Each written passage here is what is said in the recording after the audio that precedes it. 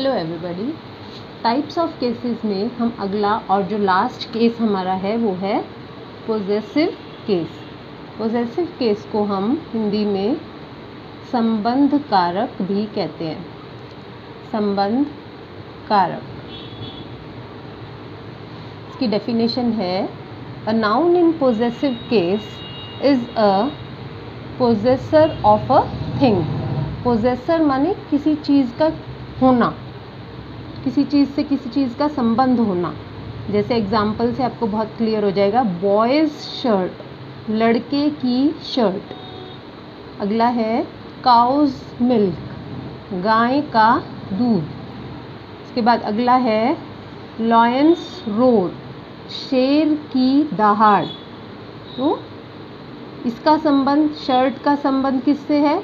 लड़के से। दूध का संबंध किससे है? गाय से। दहाड़ का संबंध किससे है? लॉयन से। तो इनका संबंध इससे है, इसे हम पोजेसिव केस कहते हैं।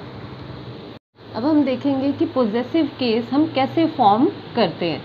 सबसे पहला जो इसका रूल है by adding apostrophe S in a singular noun singular noun आपको पता ही है कौन से होते हैं? जैसे बॉय एक एक लड़का। तो जब हम बॉय बॉयज़ पेन कह रहे हैं तो यहाँ पर हम एक अपोस्ट्रॉफी एस इसको हम अपोस्ट्रॉफी बोलते हैं। अपोस्ट्रॉफी तो इसका क्या मतलब हो गया? लड़के का पेन तो एक लड़के की जब हम बात कर रहे हैं तो यहाँ पर हमने सिंग क्या ऐड किया? अपोस्ट्रॉफी एस गर्ल्स फ्रॉक यहाँ पर भी एक लड़की का फ्रॉक अगर हम प्लूरल नाउन के केस में देखें तो हम अपोस्ट्रॉफी एस कहाँ पर ऐड करेंगे?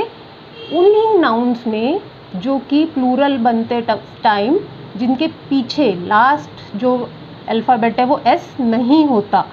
Not S not ending in S जैसे एम ई एन मैन का हमने शुरू में किया था प्लूरल क्या होता है? एम ई एन तो यानी यहाँ पर एस नहीं आया तो इसका हम कैसे बनाएँगे? मेंस शर्ट्स आदमियों के लिए शर्ट्स विमेंस रिंग्स औरतों के लिए अंगूठियाँ.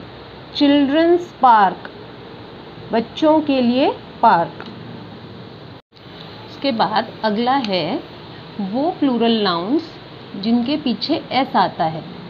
जैसे बॉय बॉयज़ प्लूरल क्या है? बॉय का बॉयज़ पहले ही इसके पीछे एस है तो यहाँ पर हम सिर्फ़ एपोस्ट्रॉफी ही लगाते हैं। जैसे बॉयज़ बस ये एपोस्ट्रॉफी स्कूल लड़कों का स्कूल गर्ल्स प्लेग्राउंड लड़कियों का खेल का मैदान.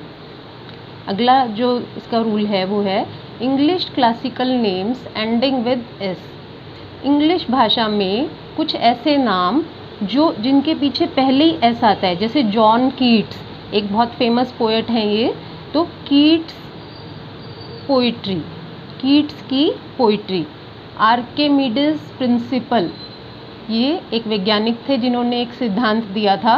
तो इनके पीछे भी, नाम के पीछे पहले ही एस है तो हम यहाँ पर सिर्फ़ अपोस्ट्रॉफी लगाते हैं।